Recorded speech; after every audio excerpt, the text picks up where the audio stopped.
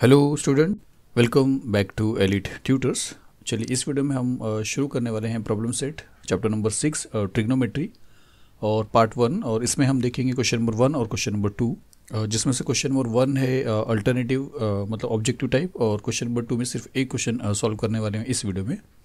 तो चलिए शुरू करते हैं. फ़र्स्ट क्वेश्चन क्या लिखा है क्वेश्चन नंबर वन कि choose the correct alternative answer for the following question आपको मालूम प्रॉब्लम सेट का यही होता है फ़र्स्ट क्वेश्चन तो आपको चार ऑप्शन में से एक ऑप्शन सेलेक्ट करना है जो करेक्ट रहेगा। और क्वेश्चन क्या लिखा है कि साइन थीटा इन टू कुछ नहीं तो इन टू है। और इन टू लिखा रहता तो भी चलता, नहीं तो डॉट लिखा रहता है। और ऐसा भी इसका मीनिंग मल्टीप्लिकेशन है। तो साइन थीटा को अगर आप कोसेक थीटा से मल्टीप्लाई करोगे तो क्या आएगा? तो देखिए, ऐसे अगर आपको नहीं समझ में आ रहा है या अगर आपने पहले से फॉर्मूला समझा तो आपको उसका आंसर मिल जाएगा। और अगर आपको वो वाला फार्मूला पता है ट्राइंगल वाला अगर फार्मूला पता है तो ये अगर एक ट्राइंगल हम लेते हैं और थीटा को यहाँ पे रखते हैं और इसमें साइन थीटा का फॉर्मूला अगर लिखते हैं तो साइन थीटा का फॉर्मूला है अपोजिट अपॉन हाइपोटनेस तो इसके लिए अपोजिट क्या है? ए बी है, क्योंकि थीटा हमने यहाँ पे प्लेस किया है। तो साइन थीटा का फॉर्मूला क्या आएगा? अगर हम यहाँ पे लिखते हैं कि साइन थीटा तो अपोजिट अपॉन हाइपोटनेस है तो अपोजिट ए बी है और हाइपोटनेस ए सी है। और अगर हमने कोसिक थीटा का फॉर्मूला लिखा, जो इसका जस्ट अपोजिट है कोसिक थीटा ये अगर अपोजिट अपॉन हाइपोटनेस है तो ये हाइपोटनेस अपॉन अपोजिट है मतलब ए सी अपॉन ए बी है। तो ये हो जाएगा A C upon A B same triangle के लिए।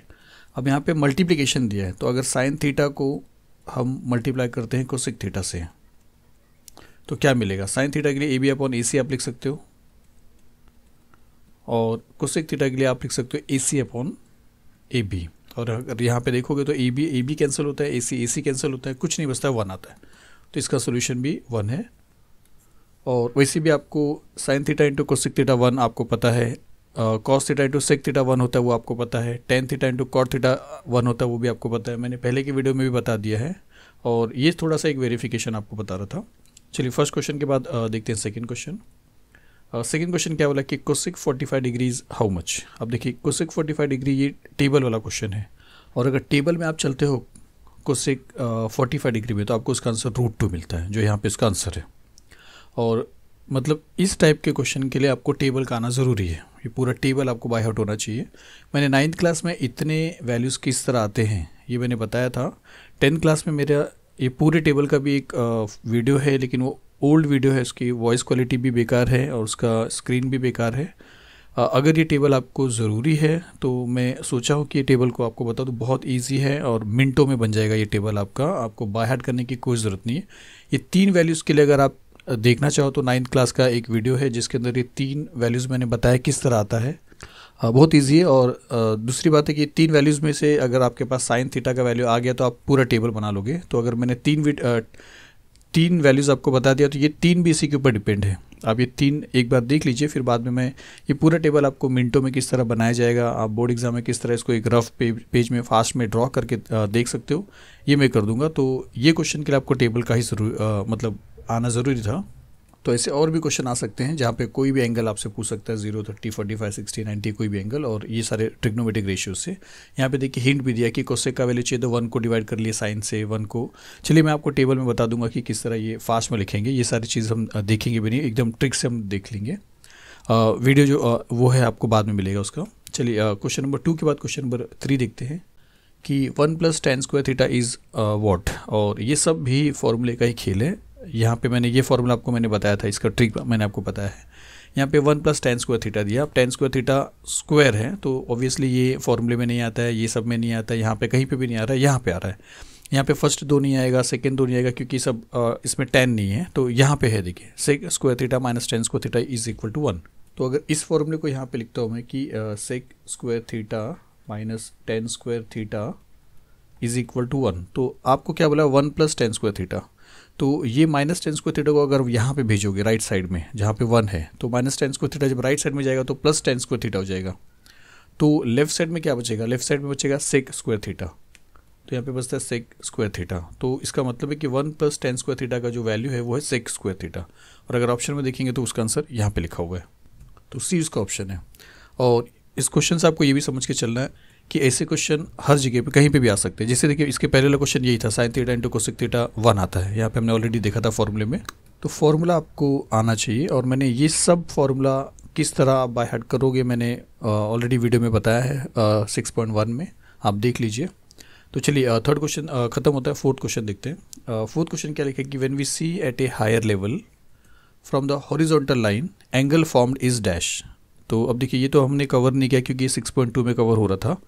तो क्या लिखा है कि when we see at a higher level अगर हम ऊपर की तरफ़ देखते हैं एक हॉरिजॉन्टल लाइन से तो जो एंगल बनता है वो क्या बनता है? तो मैं आपको बताता हूँ कि अगर एक सीधा एंगल है और आप यहाँ पे उसको देख रहे हो स्ट्रेट एकदम तो वो लाइन को आप बोलोगे हॉरिजेंटल लाइन उसके बाद अगर आप अपना विजन जो है, आप अपना विजन जो है उसको चेंज करते हो और ऊपर की तरफ़ करते हो, आप ऊपर की तरफ़ करते हो और जिसके वजह से देखिए, पहले आप सीधा देख रहे थे और अब अगर आपने ऊपर देखा है तो बीच में एक एंगल बना है। तो जब भी आप ऊंचाई की तरफ़ देखोगे एक हायर लेवल पे हॉरिजॉन्टल लाइन से, नीचे से ऊपर देखोगे वैसा नहीं। पहले आप सीधा देखोगे, जिसको आप हॉरिजॉन्टल लाइन बोलोगे, फिर वहाँ से जितनी नज़र आप ऊपर करोगे, जितना एंगल आप बनाओगे, उस एंगल को बोला जाता है एंगल ऑफ़ एलिवेशन तो ऊपर की तरफ़ देखने को ही बोलते हैं हायर लेवल तो यहाँ पे भी क्वेश्चन वही है कि when we see at a higher level from the horizontal line angle form is dash तो यहाँ पे एंगल ऑफ़ एलिवेशन हो रहा है। इसी का दूसरा अगर आप देखेंगे एंगल ऑफ़ डिप्रेशन तो वो कैसा होता है कि अगर आप हॉरिजॉन अब अगर आप सीधा देख रहे हो पहले क्योंकि पहले आपको सीधा ही समझना है। नीचे आ, कहीं से भी कहीं पे भी नहीं देखना। पहले तो आपको सीधा समझना उसके बाद आप या नीचे देखते हो या ऊपर देखते हो ये दो बातें देखी जाती हैं। तो हॉरिजॉन्टल लाइन की तरफ़ आप स्ट्रेट देख रहे हो फिर आपका जो विजन है उसको आप चेंज करके नीचे की तरफ़ देख रहे हो। तो जो भी एंगल बना यहाँ पे उस एंगल को बोला जाता है एंगल ऑफ़ डिप्रेशन तो एंगल ऑफ़ डिप्रेशन कब होता है? जब आप कहीं ऊंचाई पे खड़े हो और आप नीचे देख रहे हो। और एंगल ऑफ़ एलिवेशन कब होता है? जब आप नीचे खड़े और कहीं ऊपर देखते हो। तो यहाँ पे क्वेश्चन हमारा ये बोला है कि when we see at a higher level आप ऊंचाई की तरफ़ अगर देखोगे तो ऑब्वियसली आप नीचे हो और वो चीज़ ऊपर है। तो आपको लाइन ऑफ़ विजन है जो ऊपर की तरफ़ लेके जाना पड़ेगा, जिससे एंगल जो बनेगा एंगल ऑफ़ एलिवेशन बनेगा। ज़ीरो बोला है, आप कहीं नहीं देखोगे तो ज़ीरो बनेगा। स्ट्रेट लाइन एंगल बोला है, अगर आप स्ट्रेट देख रहे हो तो बनेगा, जबकि यहाँ पे ऑप्शन नहीं हो रहा है। ये ऑप्शन रॉन्ग इसलिए हो रहा है क्योंकि आपको बोला गया कि ऊपर की तरफ़ अगर आप देखते हो तो क्या एंगल बनेगा?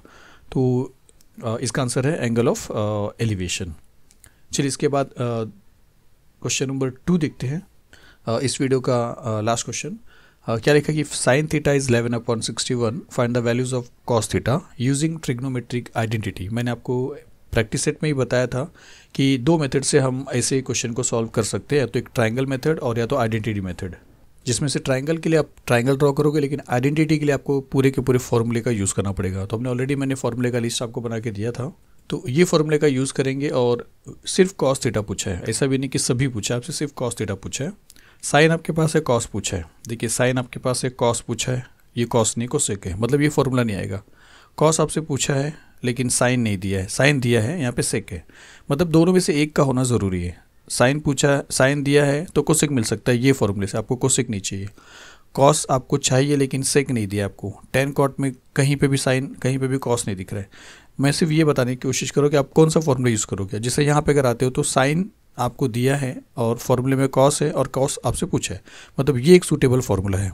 बाकी यहाँ पे ये फार्मूला भी रॉन्ग है रॉन्ग मतलब इसके लिए सूटेबल नहीं है इसके लिए सूटेबल नहीं है बाकी सॉरी ये फार्मूला भी इसके लिए सूटेबल नहीं है। यहाँ पे सब ए, एक भी फार्मूला आपके लिए सूटेबल नहीं है। क्योंकि फार्मूले में साइन अगर दिया है कॉस पूछा है तो दो ही चीज़ होना चाहिए साइन और कॉस और साइन और कॉस इसी फार्मूले में आ रहा है। तो हम ये फार्मूले से शुरू करते हैं और यहाँ पर लिखते हैं सोल्यूशन लिखते हैं यहाँ पे।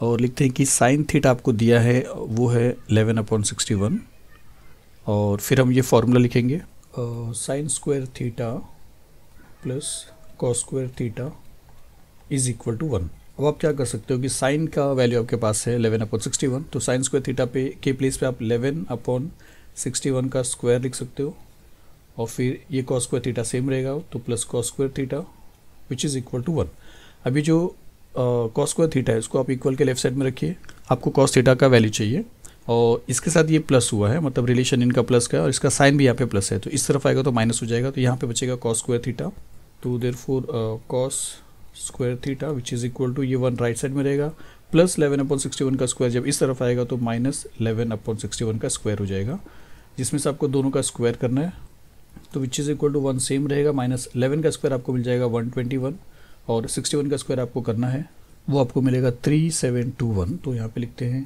three three seven two one फिर यहाँ पे आपको क्रॉस मल्टीप्लिकेशन करना है, क्योंकि यहाँ पे माइनस है। तो लेफ़्ट साइड में कॉस स्क्वायर है तो हम ऐसा लिखते हैं कि therefore cos square theta is equal to और यहाँ पे क्रॉस करेंगे तो वन को थ्री सेवन टू वन से मल्टीप्लाई करेंगे तो थ्री सेवन टू वन आएगा, फिर ये माइनस हो जाएगा, और यहाँ पे कुछ नहीं तो वन समझना है तो इसको मल्टीप्लाई करके ये लिखा हमने, और यहाँ पे मल्टीप्लाई करेंगे one twenty one into one तो मिल जाएगा आपको वन ट्वेंटी वन फिर the whole upon three seven two one तो थ्री सेवन टू वन अब इसको अगर सॉल्व करोगे तो थ्री सेवन टू वन में से वन टू वन निकल गया। वन टू वन तो थ्री सिक्स डबल ज़ीरो हो जाएगा। तो ऊपर बचेगा थ्री सिक्स डबल ज़ीरो और नीचे हो जाएगा थ्री सेवन टू वन पर ये फार्मूला ये वैल्यू जो है, ये कॉस का वैल्यू नहीं है। कॉस थीटा का वैल्यू नहीं है। ये कॉस स्क्वायर थीटा का वैल्यू है। तो आपको कॉस थीटा चाहिए तो आपको स्क्वायर रूट लेना पड़ेगा। तो देर फोर कॉस थीटा क्या मिल जाएगा आपको? कॉस थीटा आपको अंडर रूट मिल जाएगा। मतलब स्क्वायर रूट लिखिए या आप ऐसा रूट में लिखिए कि three six double zero upon three seven two one तो therefore finally cos theta का वैल्यू आपको मिलता है थ्री सिक्स डबल ज़ीरो का जो स्क्वायर रूट है वो सिक्सटी है और थ्री सेवन टू वन का आपको मालूम है सिक्सटी वन है। तो सिक्सटी अपॉन सिक्सटी वन ये इसका आंसर आ जाएगा। तो कॉस थीटा का जो आपसे वैल्यू पूछा था उसका वैल्यू मिल गया सिक्सटी अपॉन सिक्सटी वन इसको हम ट्राइंगल मेथड से कर सकते हैं, पर अगर एग्ज़ाम में आइडेंटिटी मेथड आइडेंटिटी मेथड बोला है तो वही मेथड से करना पड़ेगा। अगर आप ट्राइंगल मेथड से करोगे तो आपको आंसर रॉन्ग दिया जाएगा। भले आपको ये मिलेगा आंसर तो चलिए फिर ये वीडियो यहाँ पे फिनिश होता है। क्वेश्चन नंबर वन और क्वेश्चन नंबर टू हमने कंप्लीट किया। मिलते हैं नेक्स्ट वीडियो में पार्ट टू में। Thank you very much